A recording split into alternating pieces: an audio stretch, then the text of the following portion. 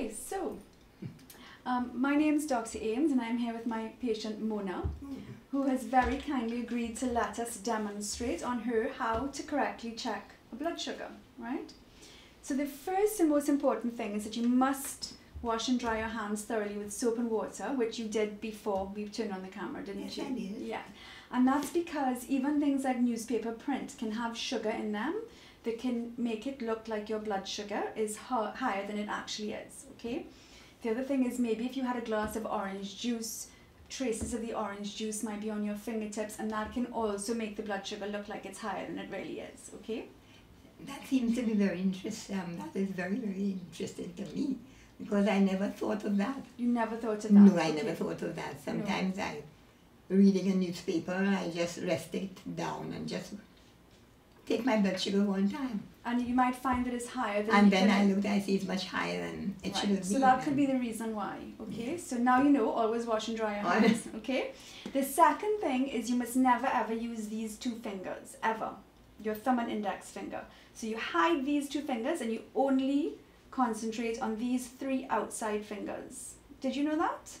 No, I always use this one. I well, that's a good the one. yo- The, small one. That is a good one. That is a good one. And the reason you never want to use these two fingers, no, I've never used this one or this one. good, is because we need to be able to pick up a pen and write. So we need to protect these two fingers. Okay. Which I do. Good. The third thing is you must never ever stick the pulp of the finger here. Only ever this side. And I saw when you showed me your baby finger, you were pointing to the pulp, right? Yes, that is what Okay, I, I would do this. right. here. So from now on, we want you to just do Do the the side sides. there, okay? And the reason for that is because one of the complications of diabetes is sight loss. And we don't want that to happen to you, and we're doing everything we can to prevent it. But if it does happen, how do blind people read? They use braille. So they use their fingertips, Fingertips. to feel the raised letters. So we need to protect the nerve endings in our fingertips. So we only ever prick the sides, okay? So we're going to show um, everybody what to do today. So the blood testing kit I'm using is TRUE2go, but that's just because I happen to like this very small one. You can use any one you want. To me, the most important thing is the cost of the strips. So be very, very wary about getting a free glucose meter and without asking what the cost of the refills of the strips are because those are what you're going to be using on a regular basis to check your sugars, right? What I want to know, what's, what's the square glucose meter? Is it, There are different brands. There are different Could brands. be Roche maybe, or One I Touch. remember, but one touch. or- One Touch, I think, is a long thin one. Yeah. It's, there's a, square one like this. You bring it in and show me because they're different. They're all different shapes. A some are long one. and thin. and then Some are round. Some are square. Just depends on the and brand. something like this. But I have Like this one. Yeah, I have to roll it.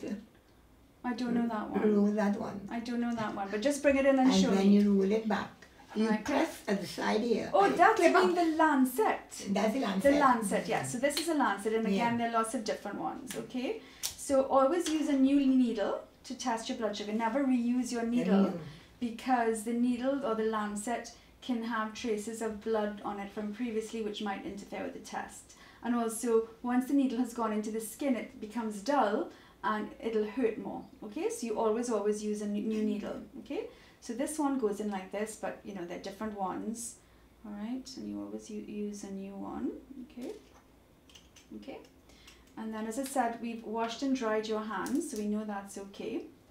And then on my machine, what happens next is you insert the strip and the machine gives you a little indicator looking like a little drop of blood when it's ready to go. Okay, so there we see the little drop of blood has come up, right? But um, what I want to inquire from Yes. you, there are some machines Yeah. like this Yes. that it goes at 888 and You mean it gives you a code? give you a code. Yeah, some some blood sugar machines have codes, Codes. right? So I'm not going to go into the nitty gritty because everyone Yeah. is different. Different. So whoever you buy it from, ask them about. Sometimes you have little solutions. You have to calibrate the machine and all of that. I, I like one that's very very simple. Okay. Yeah.